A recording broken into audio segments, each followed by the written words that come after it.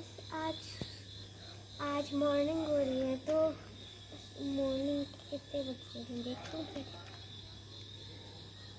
Five forty six तो फिर आज हम बद्रीनाथ जा रहे हैं। हेलो फ्रेंड्स हम आज मॉर्निंग हो रही है तो मॉर्निंग के फाइव फोर्टी सिक्स बज हैं। तो अभी हमें जितनी जल्दी हो सके उतनी जल्दी बद्रीनाथ निकलना। है क्योंकि आज हम बद्रीनाथ जा रहे हैं। तो फिर पहले हम अपनी गाड़ी का चेकअप कर लेते हैं।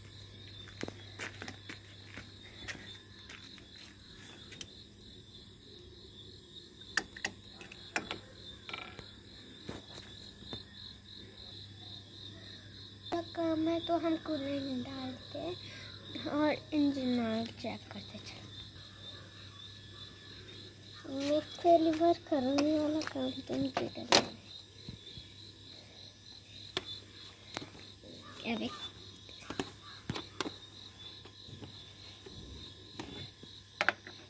ची ची ची, शरबत भी हो गया?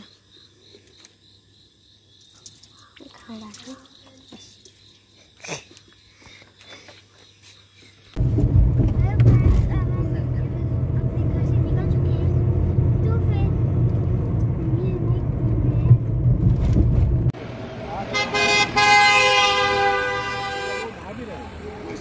फ्रेंड्स, हम आ गए हैं देवप्रयाग, बद्रीनाथ के रास्ते में। तो ये जो आपको ग्रीन कलर की नदी दिख रही है, ये है भगीरथी।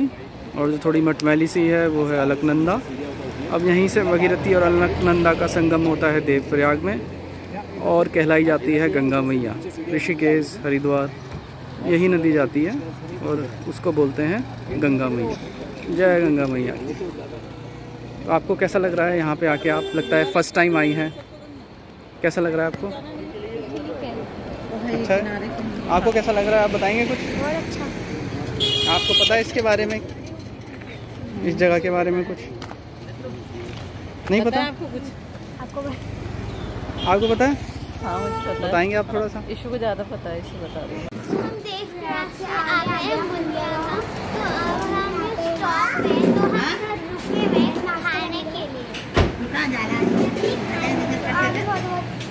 बहुत अच्छा आपको सीरीज़ मिलेंगी देखिए ये हमारा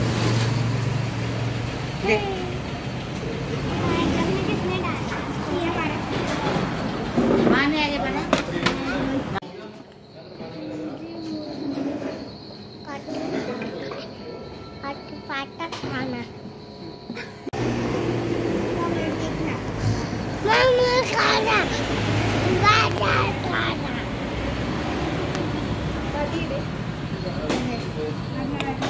तो हम रुद्रप्रयाग पहुँचने वाले हैं और यहाँ पे लैंडस्लाइड की वजह से जाम लगा है और प्रशासन ने एक एक करके गाड़ियाँ निकालने की कोशिश कर रहे हैं अभी सामने वाले की तरफ़ से उन्होंने ट्रैफ़िक खोला है।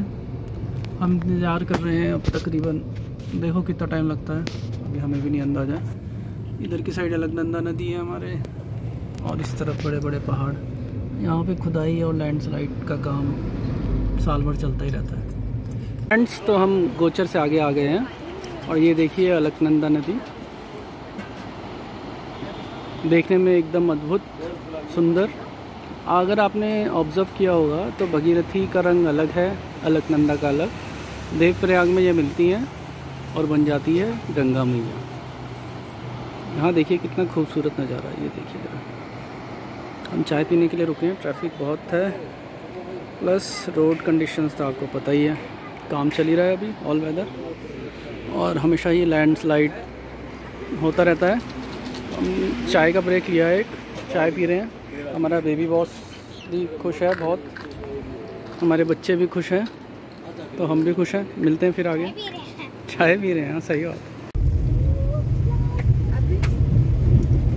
तो फ्रेंड्स हम आ चुके हैं यार मतलब थोड़ी दूरी है 89 86 ऐसी कुछ तो यहाँ पे थोड़ी बहुत रोड खराब हो रही है आगे में जेसीबी है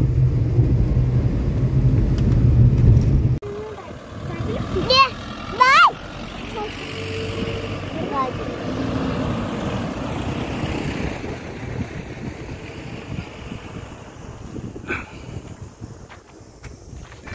ये एक करता है तो साहब हम पहुँच गए हैं जोशीमठ से पहले और समय हो गया है पाँच बज के छब्बीस मिनट।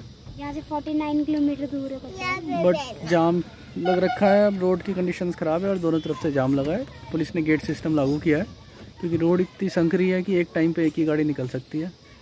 तो गेट सिस्टम के हिसाब से वो पहले एक तरफ़ की गाड़ी को छोड़ रहे हैं जाने वाले को।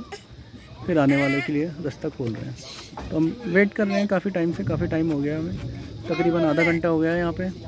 वेट कर रहे हैं। बादल गड़गड़ा रहे हैं अगर आप सुन पा रहे हैं तो और मौसम देखिए ज़रा मौसम।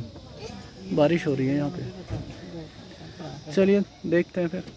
आगे कितना इंतज़ार करना पड़ेगा। बताते हैं आपको। हैं। बहुत जब भी आओ। गरम कपड़े पहन जाओ वैसे ये देखो। तो दोस्तों हम पहुँच चुके हैं बद्रीनाथ धाम कलयुग का वैकुंठ धाम जिसे कहा जाता है उत्तराखंड डिस्ट्रिक्ट चमोली। यहाँ पे ठंड बहुत है तो आपसे निवेदन है अगर आएँ तो गर्म कपड़े लेके आएँ। Friends good morning. तो आज 2 अक्टूबर सन 2022 बद्रीनाथ की सुबह। बद्री विशाल के वैकुंठ धाम, जो कलयुग का वैकुंठ धाम भी कहलाया जाता है। हम उठे हैं और सुबह उठते ही यहाँ का जो नज़ारा है ना, अगर आप देखेंगे तो आप भी अभिभूत हो जाएँगे। देखिए बर्फ़ से लदे हुए पहाड़ सामने, और यहाँ पे ठंड तो बहुत ज़्यादा है।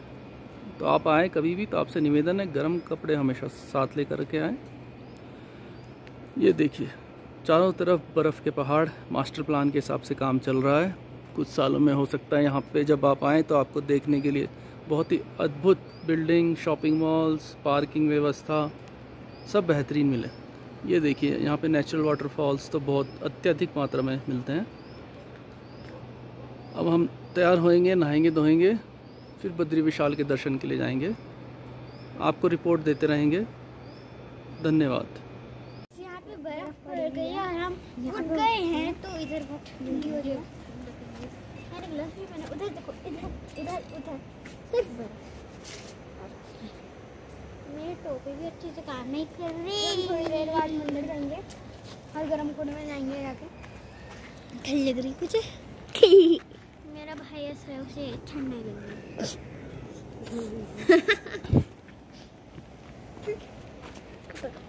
eso. बोल ना